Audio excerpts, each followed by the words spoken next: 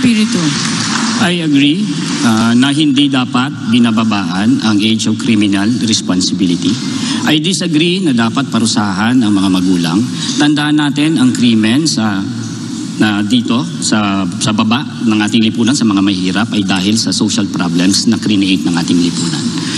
And I also agree na dapat bigyan natin ng tamang value sa mga kabataan. Dapat tinuturo sa school na masama ang extrajudicial killing, masama ang red tagging, masama si Marcos, ah, marami siyang human rights violation.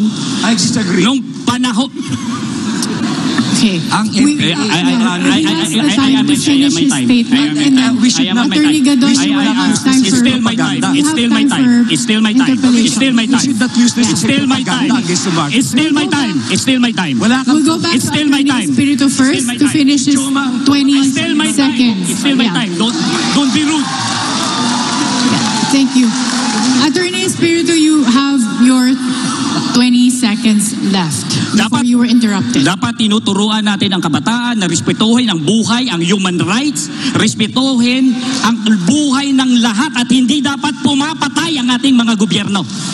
At hindi nagnanakaw ang ating gobyerno. Diyan tayo magkakaroon ng mga mabuting henerasyon ng kabataan. Agree Thank you. At, Attorney Gadon, you have 45 minutes for interpellation. Yes.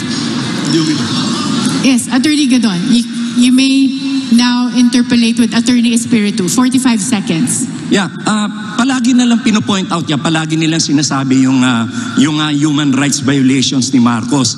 Eh, unang-una, sino ba ang nagpapatay dun sa mga NPA na gustong sumurrender? Eh, di ba si Joma?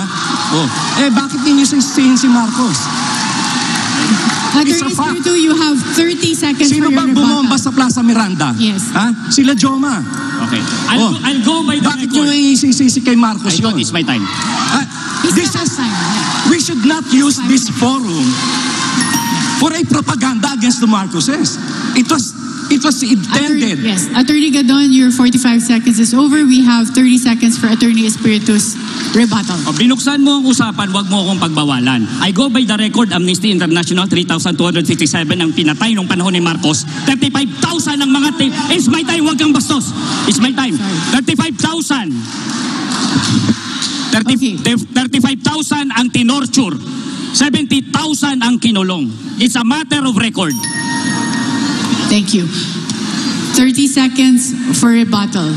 Noong nagkaroon ng kaso sa Hawaii, yung 10,000 human rights victims, nung ini-implement nila dito, yung nag-file sila ng petition sa, sa ah, RTC, wala silang naipresentang ebidensya.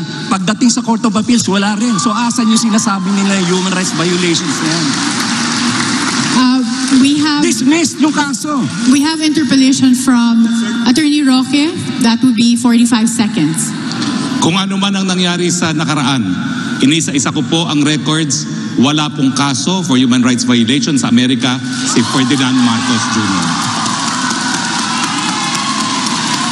Inisa-isa ko rin po ang mga kaso na decided, decided po ng ating Philippine Supreme Court. Totoo po, co-administrators of Ferdinand Bobong Marcos, wala pong kaso na siya mismo nagnakaw. Can I have... Attorney Espiritu has 30 seconds for a rebuttal, and we have a question again from Yes. Dr. Thank you. Uh, with all You have you have the time. You have Ah. the opportunity, Attorney Espiritu, for a 30 second. My, my microphone is being uh, silenced all the time when I do my rebuttal. Can I be able to continue Yes, without attorney. my microphone being turned off? Yes, Attorney Espiritu. Okay, with all due respect uh, to uh, Attorney Harry Roque, I know your history. You were anti-Marcos before. You were for human rights before. Your life, you spent your life against the Marcoses. You work for human rights. And now that you were given a Senate spot under the party of Bongbong Marcos, now you cry hallelujah and praise Marcos. Okay. Thank you, Attorney Espiritu. We